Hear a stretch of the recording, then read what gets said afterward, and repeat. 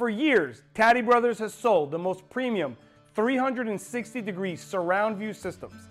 They were easy to install, had high quality images, and even featured 3D videos with perspectives that would defy the laws of physics.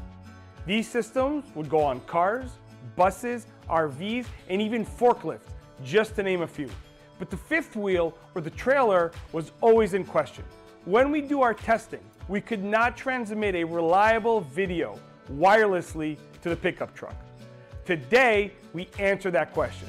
Today, I will show you a 1080p surround view system that will transmit an image wirelessly to your vehicle while keeping all the premium features available in our wired 360 system. And in this video, we'll talk about the features, I'll unbox it, and I'll tell you everything you need to know about this product.